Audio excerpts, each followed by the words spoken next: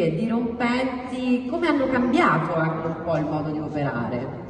Ah, buongiorno a tutti e grazie al team per questo graditissimo invito. Beh, due parole su di noi, siamo un'azienda Italtel che orgogliosamente fa ricerca e sviluppo in Italia da 102 anni e quindi siamo, siamo qui dopo tutto questo tempo perché abbiamo saputo abbracciare il cambiamento e essere sempre al passo delle tecnologie più innovative. A proposito mi viene in mente un aneddoto di qualche giorno fa a proposito di libri a cui riferiva, si riferiva Attilio.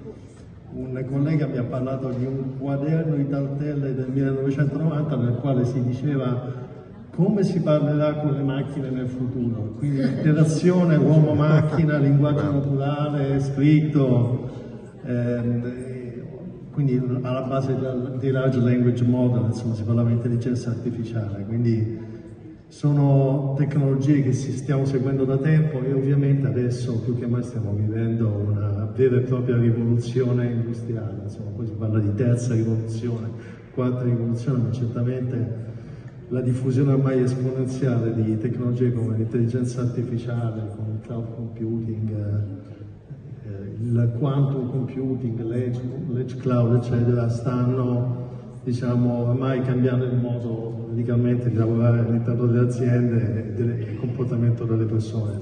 Ovviamente dal nostro punto di vista di sistema integrato noi vediamo le aziende, nel caso specifico, quindi enormi opportunità no, per migliorare l'efficienza, la qualità del servizio delle aziende, ma allo stesso tempo esistono dei rischi legati alla complessità di queste tecnologie.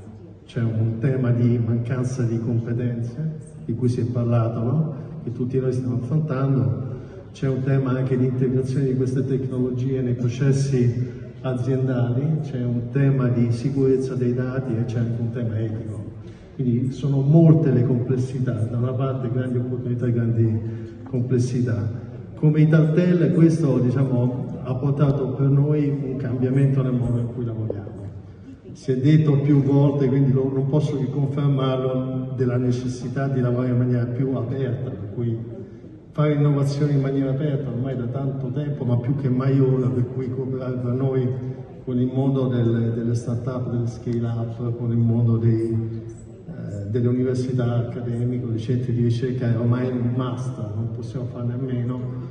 Quello che possiamo offrire noi è un'industrializzazione di alcuni concept, di alcune idee, la possibilità di sperimentare su casi reali.